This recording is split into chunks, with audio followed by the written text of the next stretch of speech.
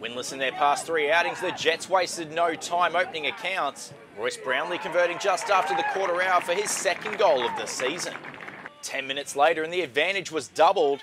A clever ball from Jordan Farina finding Tiger Ishikura, who squeezed home the finish. Suggestions there might be a fight on the cards as Olympic pulled a goal back. Liam O'Brien strike too hot to handle for Matthew Stein. But there was no holding back the Jets. Burley defender Scott Stewart rising high to nod home his side's third just minutes later. Before midfielder Jonathan Morea capped off a sparkling run with a pinpoint finish just before half time. Jets ahead 4-1 at the turn. After the restart and Scott Bowe looked to pull a goal back for the hosts, but denied by the crossbar.